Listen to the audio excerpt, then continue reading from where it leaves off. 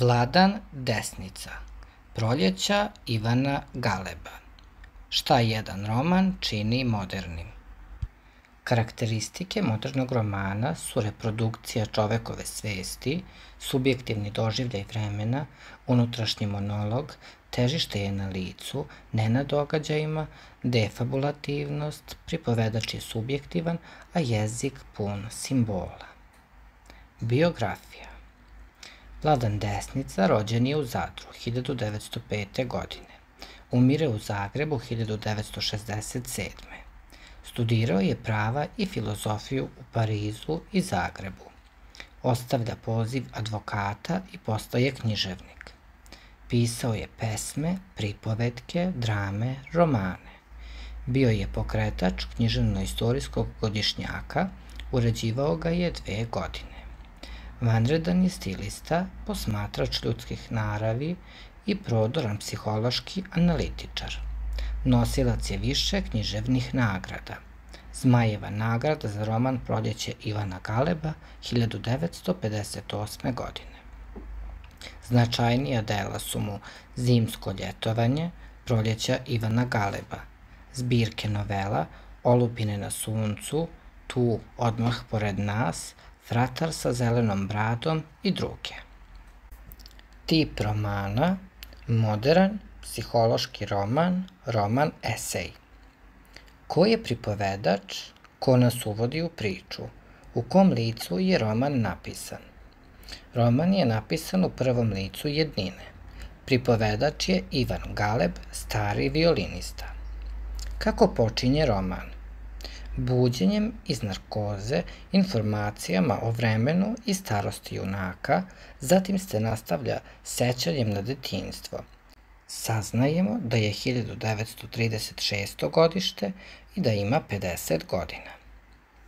Gde zatičemo glavnog junaka? Ivan Galeb je usled povrede doveden u provincijsku bolnicu, zatičemo ga u bolničkoj sobi zbog čega je pisac izabrao baš bolničku sobu. Bolnička soba je mirna, tiha. Ivan je sam u sobi, nema sagovornika, a vremena ima na pretek, te stoga evocira sećanja. Koja tri dela nam pružaju uvid u taj presek? To su delovi iz sadašnjosti, iz prošlosti i delovi o meditacijama – nešto opšte o detinstvu, Bogu, religiji, umetnosti. Kakva je struktura romana? Roman je u formi eseja. Radnja nije hronološki prikazana, akcenat je stavljen na subjektivne doživljaje i osjećanja glavnog lika. Ivan je sklon digresijama, razmišlja o onome na šta ga misao navede. Zašto roman ima takvu strukturu? Razlozi za takvu strukturu su samoća junaka, ima vremena da razmišlja o svemu, on je intelektualac i umetnik, sklon je meditacijama. Kako sam navodi u romanu, imao sam ambiciju da od toga pravim filozofiju, sve komplikuje. Galeb je sklon i digresijama, smatra da u njima leži sama suština onog što želi da kaže. I na kraju, to je stvar uverenja kako treba napisati roman. On to argumentuje na 122. strani romana. Čega se junak seća na početku romana? Seća se dvospratne kuće od kamena, na obali mora, hodnika u kojem se igrao sa kvakama u obliku kugle, bake, dede, oca Frana, majke, Pominje dve tetke u sedelice, doživljava ih kao jedno biće, seća se starog župnika, svi u kući su gajili prijateljski odnos prema njem, sem malog Ivana, pomenuće i svoju dadilju, Fra Anđela, Ivana, Petra, Matu. Kako se seća svog dede, tetki, majke, bake. Dede se seća kao snažnog, zdravog, energičnog, poslovnog čoveka, nimalo sentimentalnog. Držao je pomorsku agenciju. Tetke, koje su bile u sedelice, doživljava kao sijamske blizance. One završavaju u samostanu. Majku gubi veoma rano, na prelazu iz detinjstva u dečaštvo. Opisuje je kao dobru, krhku, tihu ženu sa dubokim osjećanjima koja nisu izbijela na površinu. Oca je izgubio i pre nego se rodio.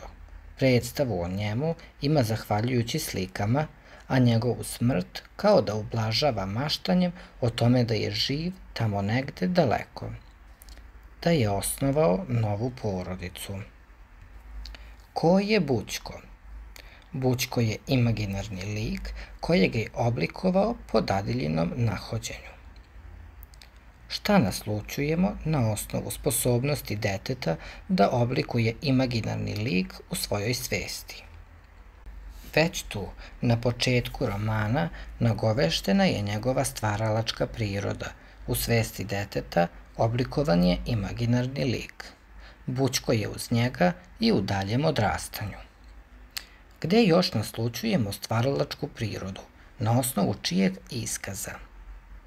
To je iskaz dadilje koja kaže ovo vaše dete čuje kako trava raste. Gde se prvi put susreće sa violinom? Violinu pronalazi prvi put na tavanu među starim stvarima. Kako opisuje violinu? Govori kako ona stvara zvukove baš onakve kakve je on hteo. Ima li u njegovom sećanju na detinjstvo i dečaštvo ljubavi? Ima. On pominje tri devojke.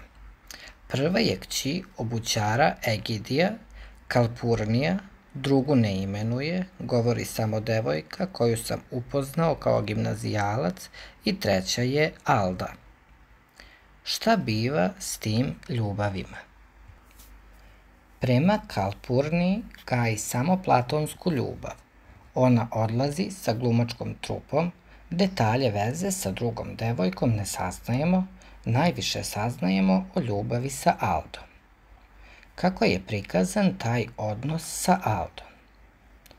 On dolazi u rodni kraj na odmor i tada započinje vezu sa njom po njemu neozbiljnu, ali se Alda zaljubljuje. On odlazi bez da je obavesti, kao da beži od nje i uprko s njenim pretnjama da će nešto učiniti.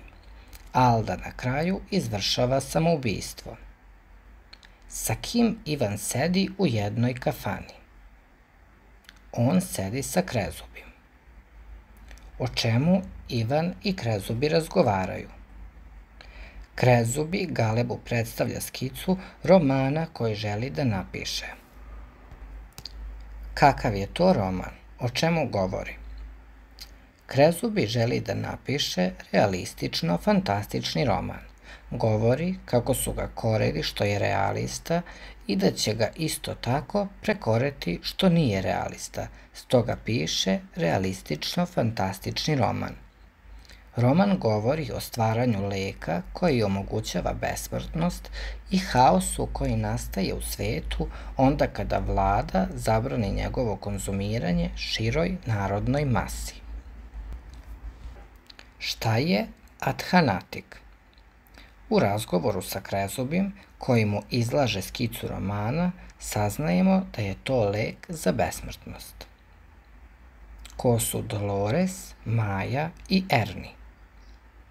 Dolores je njegova žena. Odnos njom nije najbolji, saznajemo da je ona brižna prema njemu, zadovoljna kad je on zadovoljan, dok on osjeća samo zahvalnost prema njoj. Maja je kćer koja umire veoma mlada.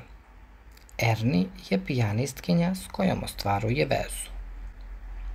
Kakav je njegov odnos sa Dolores i Erni? Šta zaključujemo o njemu na osnovu tih odnosa? Ni u jednom, ni u drugom odnosu nije potpuno predan. Nestalan je, ne drži ga mesto i obe veze prekida. Vidimo zalaganje obe žene za njega, dok on prema njima osjeća samo zahvalnost. Da li neko dolazi u posetu? Ne. Tokom celog boravka ne dolazi niko od prijatelja. Bolničarka ponekad dovodi malog dečaka koji je oslepe u eksploziji bombe i on ga podučava sviranju, a nešto kasnije u njegovu sobu dovode i Radivoja, đaka koji je pretučen u demonstracijama. Šta se dešava sa Radivojem? Radivoje podleže povredama i umire. Sa njim Galeb ne uspeva da ostvari neku dublju komunikaciju. Kako Ivanu pada taj nedolazak prijatelja u posedu? Čini se da mu odgovara što je tako. On kaže, bolje što sam nepoznat, što me niko ne posećuje. Ušteđena mi je ta krajnja laž. U takvim časovima i najbliži nam postaju tuđi, pored nas su, a opet daleki. Kaže kako postoji podeljenost na svet živih i svet umirućih. Kako se završava roman? Roman se završava još jednom operacijom, kratkim razmišljanjima između buđenja i narkoze i izlaskom iz bolnice u prolećni dan i pomirenošću sa prolaznošću. Koji motivi dominiraju u delu? Dominiraju motivi lepote, smrti, života, žene, umetnosti, zaborava, religije, detinjstva, proleća, besmrtnosti, prolaznosti. Šta ga navodi na razmišljanje o lepoti? Njegova stara medicinska sestra ide u svoj rodni kraj zbog smrtnog slučaja i dobija zamenu. Novu bolničarku on vidi kao biće tankih, finih crta i gracioznih pokreta. On u njoj vidi ženu, neverovatne fizičke lepote i umetničko delo – kako deli lepotu i gde svrstava svoju novu sestru. Deli je na lepotu višeg reda, gde svrstava i novu bolničurku, i na lepotu nižeg reda. Za prvu kaže kako je sama sebi dovoljna, da joj nije neophodna nikakva dopuna, dok je lepoti nižeg reda potrebna dopuna. Upravo ta dopuna je razlika između ova dva stepena – Samo je lepota višeg stepena prava lepota i ona je ređa. Razmišljanje o životu i smrti. Galeb kaže kako je život trajanje i kretanje. Trajanje, odnosno život, meri se sadržajnošću proživljenog. Ivan se opredeljuje za punoću duha i za čovekoljublje. Čovek je određen trajanjem i smrću. Smrt je, kao i život, Galebova obsesija. Da bi zaboravio na nju, on se stalno kreće, nosi nemir u sebi. Sve dok to postoji, smrt je daleka. Život je trajanje. Sve treba iskusiti, a smrt je ona druga strana, mračna. Ona je stalna i večito u nama, a čovek svestan nje nosi težnju da je nadraste. Svi naši napori su pobuna protiv smrti, ali ona je realnost koju treba prihvatiti jer će svakako doći. On kaže i to da iz svega govori Bog i da je iza svega Bog, čak je i smrt Bog. Gdje nema smrti, nema ni Boga. Bog će postojati stalno u čoveku, jer je verovanje u njega neiskorenjeno razmišljanja o religiji i Bogu.